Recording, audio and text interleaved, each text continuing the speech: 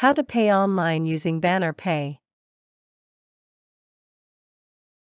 Please visit our website sce.aucegypt.edu slash home. Scroll down to the bottom of the page and click Pay Now.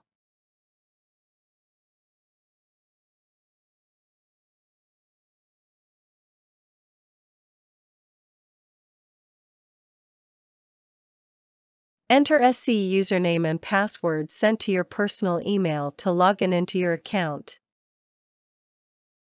If the account balance is zero, it means the course fees are fully paid, but if there is an amount in the balance, it should be paid immediately to complete the registration cycle.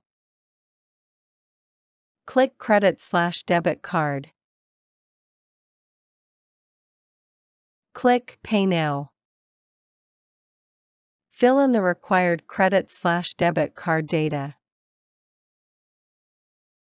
The bank will send an OTP to your registered mobile number to complete the payment process. This message indicates that the payment was completed successfully. The payment receipt will be automatically sent to your personal email.